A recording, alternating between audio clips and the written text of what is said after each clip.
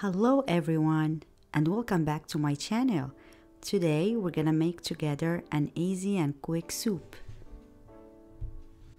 Add 3 quarters of water to a saucepan.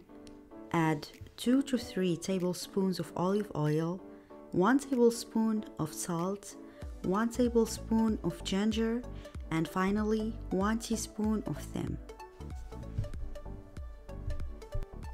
After boiling, reduce the heat to the lowest level and add a cupful of rolled oats.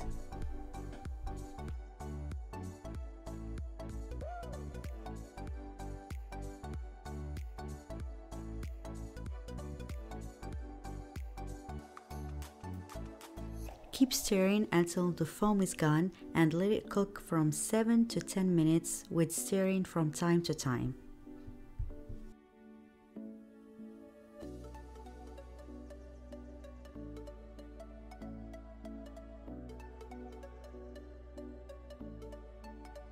After 10 minutes of cooking, the soup will be like this.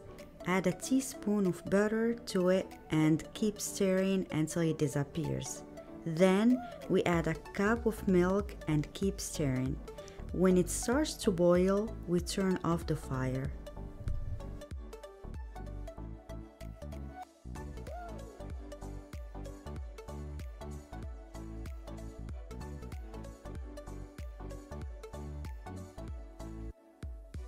This is the final result of our soup. It smells very delicious and it's cheap, quick and healthy. Don't forget to like, subscribe and share the video with your friends and leave me a comment below when you try it. Have a great moment wherever you are.